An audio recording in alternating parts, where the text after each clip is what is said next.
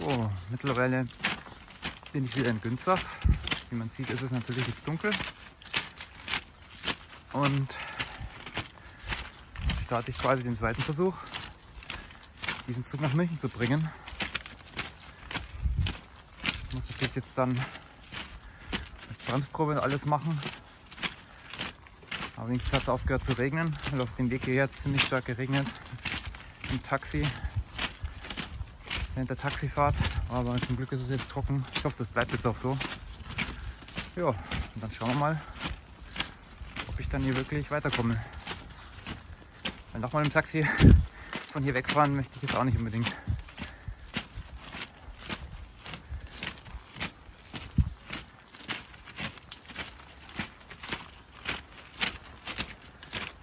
So, da ist die 187. Da vorne kommt dann die 233.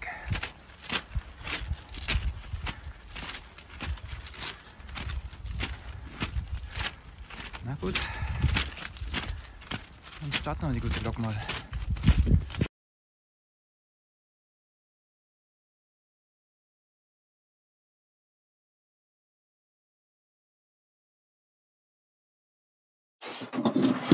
So, keine Ahnung, ob das jetzt hier was wird mit dem Licht und so weiter. Aber jetzt schauen wir mal, dass wir die Lok zum Laufen kriegen.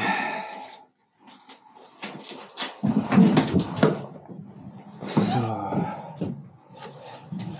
Jetzt erstmal in der Kühlkammer hier die Jalousien aufmachen.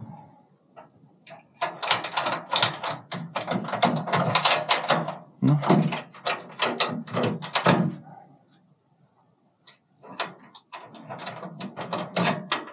Will nicht da rein. Bisschen fummelig. So, jetzt. Das wäre mal eine.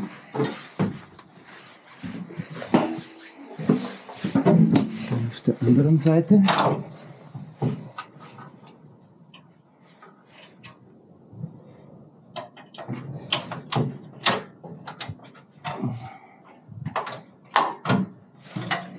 Dann gehen wir auf der Seite durch. Den Hauptgang.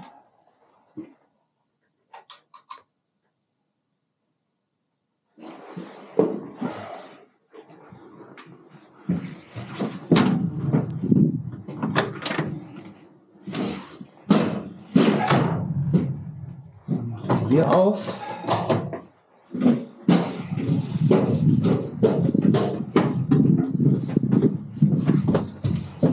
Batterie ein.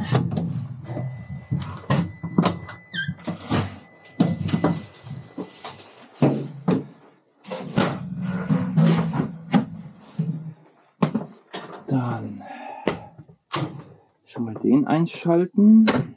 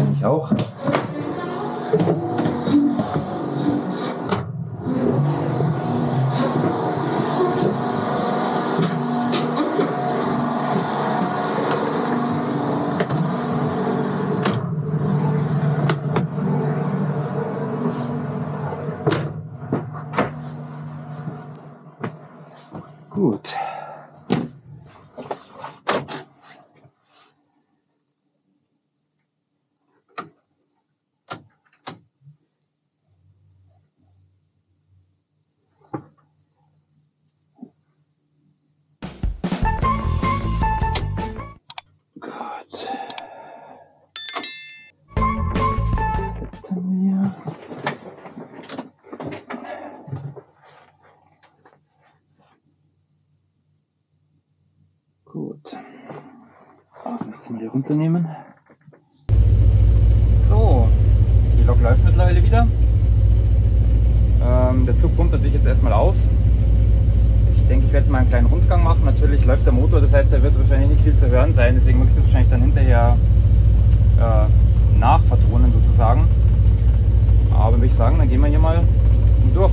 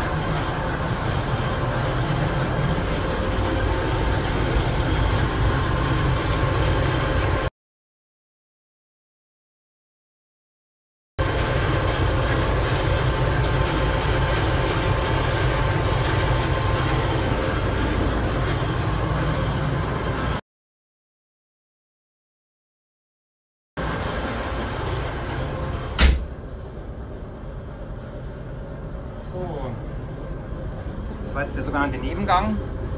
Das ist dann hier der Hauptgang.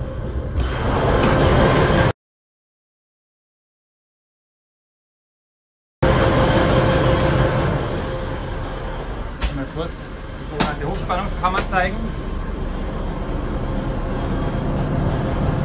Hier passiert quasi die ganze Steuerung.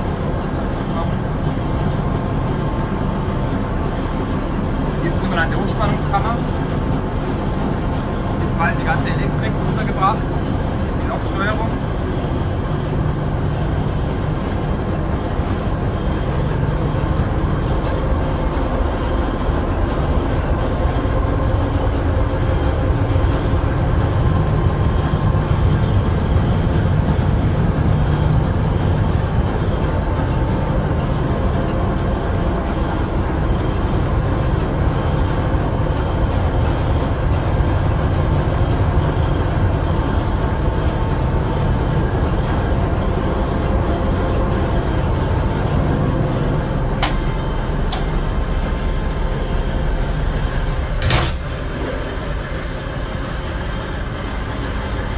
Die Tür hat hier einen äh, Türkontakt.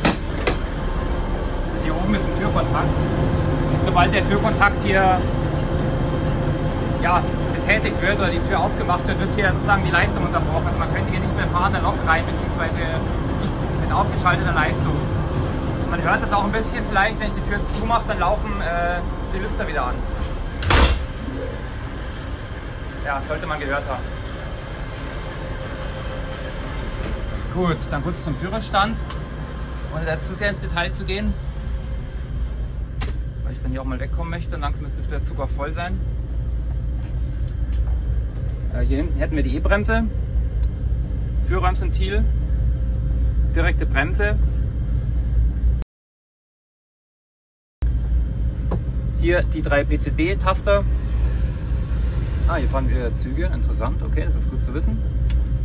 Pfeife, Lokbremse lösen, E-Bremse ein- ausschalten. Das ist für die Scheibenheizung. Kraftstoffförderpumpe. Das ist zum Anlassen im Endeffekt. Das ist die Unterbrechung für den Traktionsstrom. Siefertaster. Dann haben wir hier unten unser Spitzenlichter. Hier könnte man die Lüfter manuell einschalten. Instrumentenbeleuchtung. Die Störanzeige, das Heizgerät. Das könnte man mal jetzt anmachen auf dem hinteren Führerstand, dass wir da ein bisschen warm haben. Ähm, ja, zu den Anzeigen kurz noch. Hier ist quasi die Druckluft, das sind die Manometer, Hauptluftleitung, Hauptluftbehälterleitung, Bremszylinderdruck und ähm, für, einen, für einen Angleicher. Dann haben wir hier unseren Traktionsstrom. Das wäre die Störanzeige. Batterieladung, Kühlwassertemperatur, das wäre der Zugheizstrom für die Zugheizung. Dann ist hier natürlich unser Fahrschalterandraht, 15 Fahrstufen. Und das war eigentlich schon das Wesentliche. Gut, dann gehen wir jetzt noch schnell durch den Hauptgang zurück.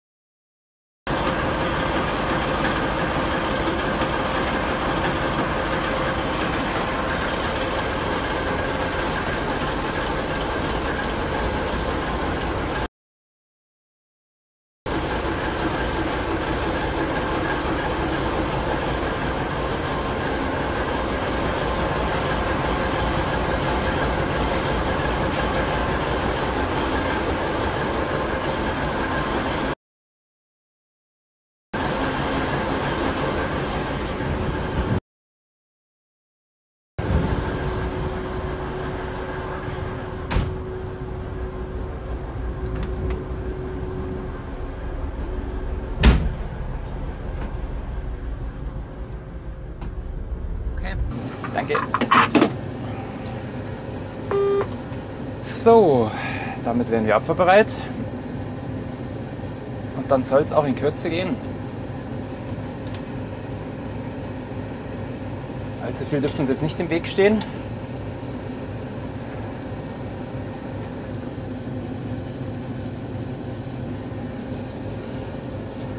Ja, plus 600 ungefähr.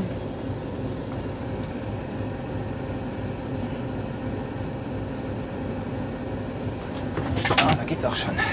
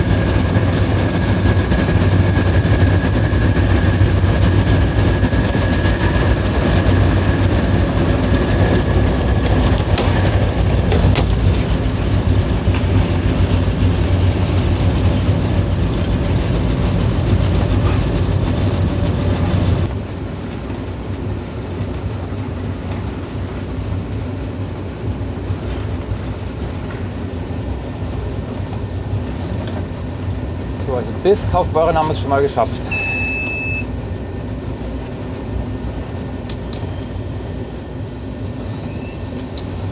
Wahrscheinlich ist da jetzt irgendwas voraus. Der Block ist relativ lange, 8 Kilometer.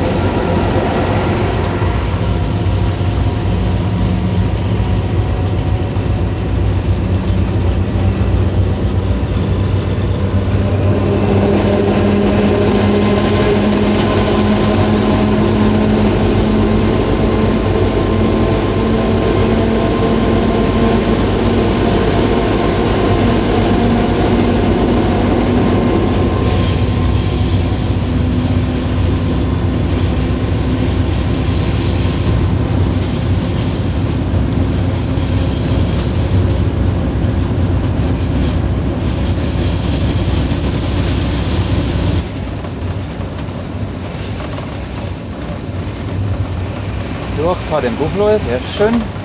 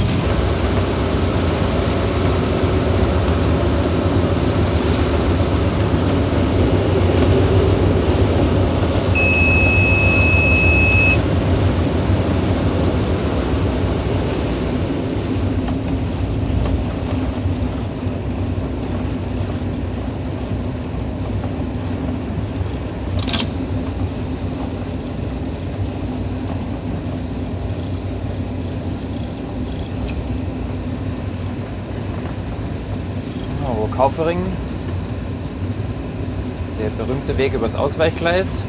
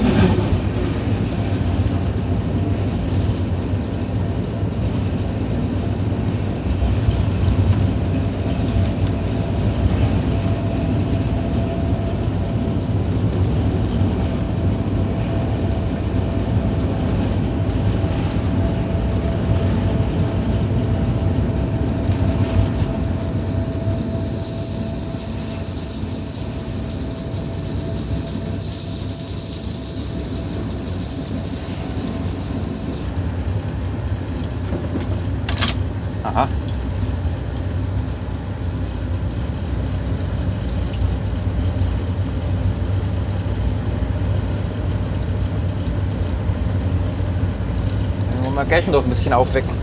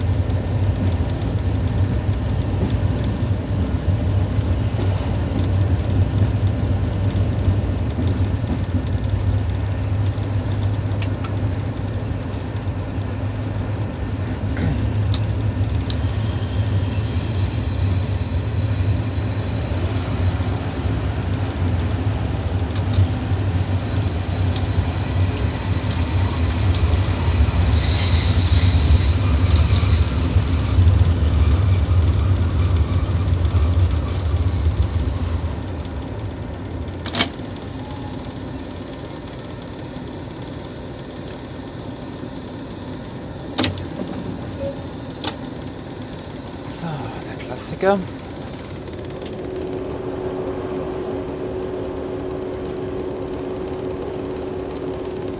So, die letzten Meter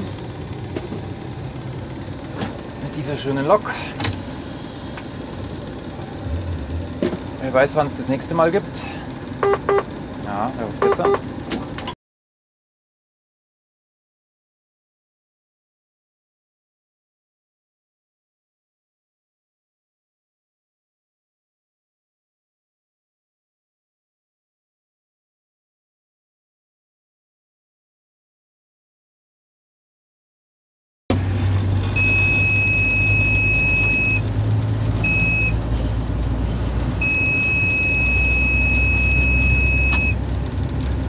Ja, also wie gesagt, die letzten Meter. Mit der Lok habe ich mir wirklich schon etliche Male gedacht, das ist die letzte Schicht und ich komme nie wieder drauf. Und dann kommt dann doch wieder sowas wie heute. Von daher, man weiß nie. Ich hoffe, es war nicht das letzte Mal. Aber es könnte auf jeden Fall das letzte Mal gewesen sein. Dementsprechend habe ich das heute auf jeden Fall sehr genossen. Mal hätte ich ja morgen eben nochmal die Runde gehabt nach Wohlfurt, aber jetzt ist es halt so gekommen, ist auch okay. Dafür habe ich halt morgen frei, kann ausschlafen. Es ist auch was wert. Oh. Na gut.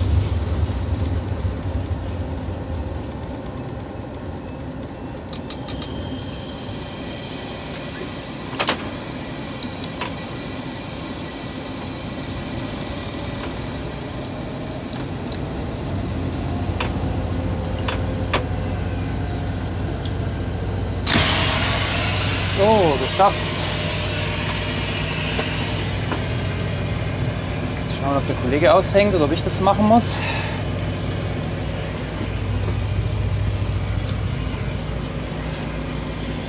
Na gut.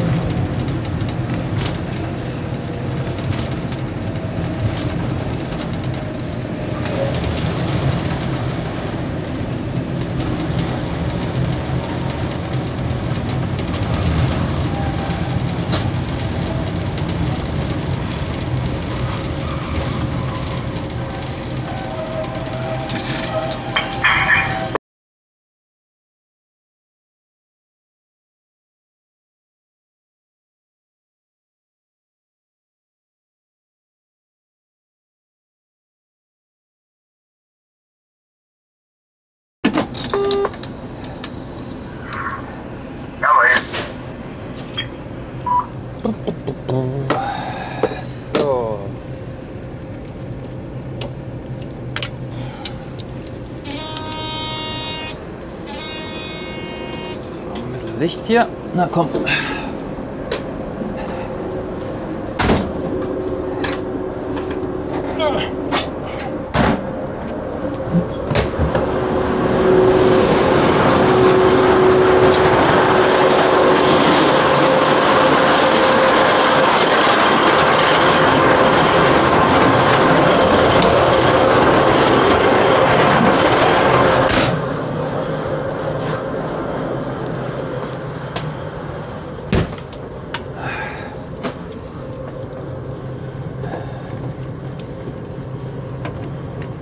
Na, komm schon.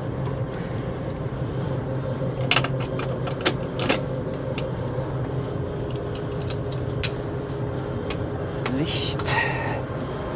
Das Licht noch mal aus. Instrumentenbeleuchtung. Und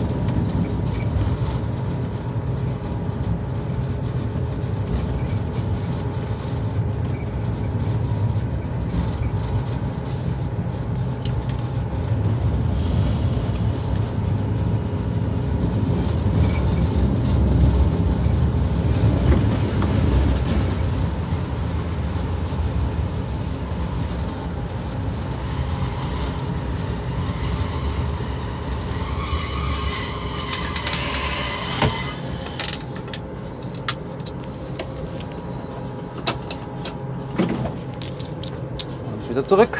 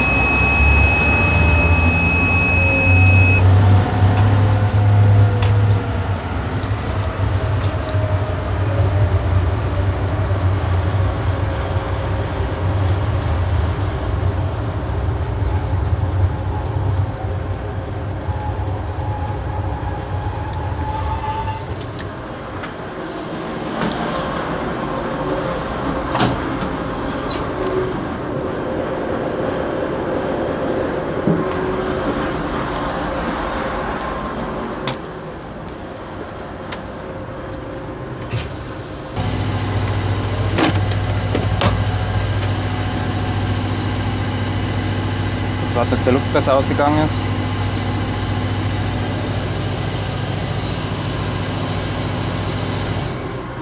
So, gut. Dann ich es noch auf die andere Seite. Genau, nehme ich euch nochmal mit.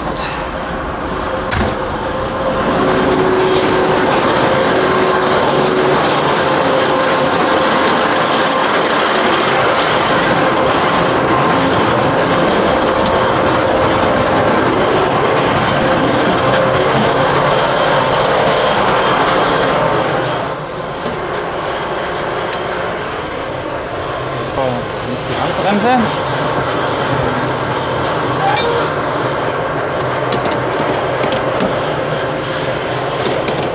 Gut. Das schon mal. Dann machen wir den Motor aus.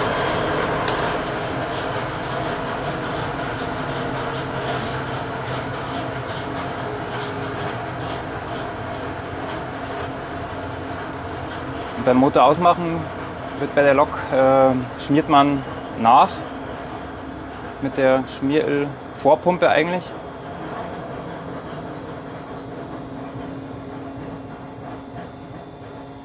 Die man jetzt auch noch hört. Damit der Turbolader, der noch dreht, noch nachgeschmiert wird.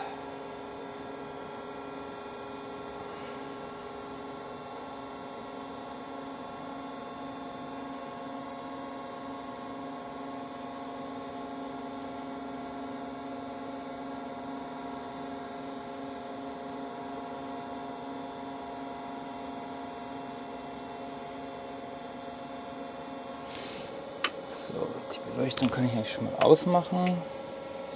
Na, wobei ich werde noch mal ein kleines Foto machen wahrscheinlich.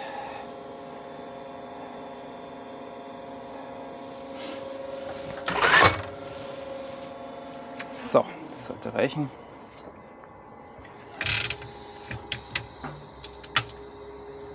Gut.